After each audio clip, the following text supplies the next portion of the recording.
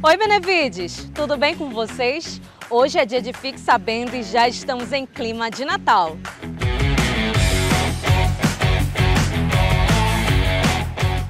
A Prefeitura de Benevides, Natura e Senai celebraram o encerramento de um curso de qualificação profissional para moradores do município. 70 alunos foram certificados e destes, 22 já estão empregados. A solenidade contou com a presença da prefeita Luziane Solon, da vice Edivana Lima e teve início com uma visita dos alunos formandos e os técnicos da Secretaria de Trabalho de Promoção Social, acompanhados de colaboradores da Natura, de Benevides e do Senai.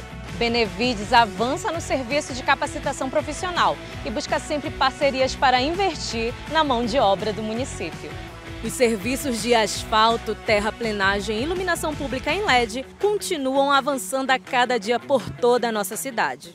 A Prefeitura de Benevides inaugurou as luzes de Natal na Praça de Benfica. Foi um momento de emoção e de alegria para as crianças e suas famílias. A programação incluiu também shows natalinos. O Benevides Natal da Infância é um projeto para valorizar o desenvolvimento infantil nos primeiros anos de vida e proporcionar um momento de lazer para toda a família benevidense. É uma ação feita com carinho para manter viva a chama da paz, do amor e da esperança na vida de cada cidadão.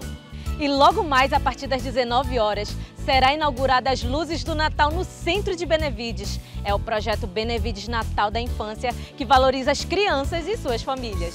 Neste sábado, além do acender das luzes, haverá shows natalinos e a visita pela Vila do Papai Noel. Participe, você vai se encantar!